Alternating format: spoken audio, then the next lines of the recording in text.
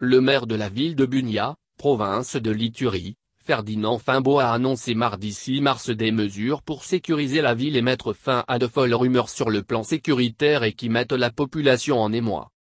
Toutes les dispositions sont prises pour sécuriser la ville.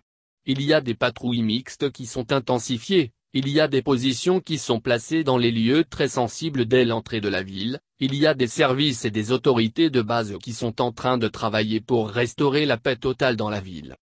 Ce sont des dispositifs que nous sommes en train de prendre pour parer à la situation des mouvements intenses des populations à partir de l'intérieur vers le centre-ville, affirme Ferdinand Fimbo.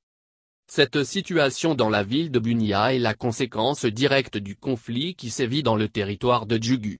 Pour fuir l'insécurité dans cette partie du pays, des populations et leurs bétail ont trouvé refuge dans plusieurs quartiers de Bunia.